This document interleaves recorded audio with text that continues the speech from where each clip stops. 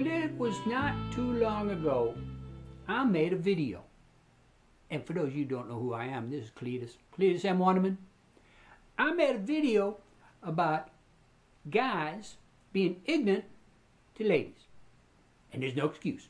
No excuse whatsoever. Well, actually, ain't no excuse big ignorant nobody. Just be nice. And I was talking about things that some guys do that are inappropriate, vulgar, and just downright ignorant. So I thought I better give the ladies their fair shot too. So here we go. There are some times when a guy is being sincere and nice, and the girls out there just to not treat him nice. Maybe she's going to take advantage of him. Maybe she's going to use him. Maybe she's whatever. I don't know what girls think. I'm a guy. But I know they got stuff up their sleeves sometimes, and they use the stuff they got under everywhere else to make us crazy.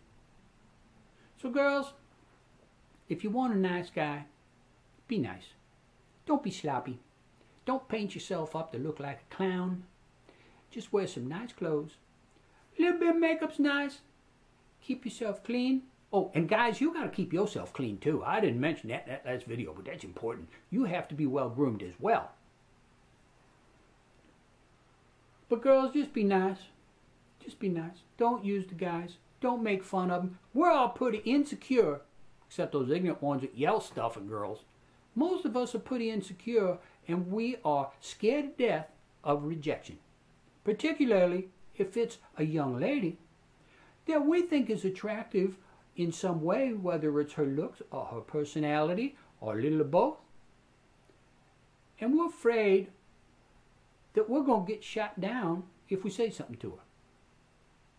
So, just be nice. If the guy's being nice, you be nice. If the guy's being ignorant, you can be ignorant right back to him. But I like girls, always have. And in all my years, I never have been able to understand them. I barely understand myself sometimes. So anyway, so that's this little rant. And I'm going to take off for right now. And I'm going to be making some more videos in a while. So check out my YouTube channel.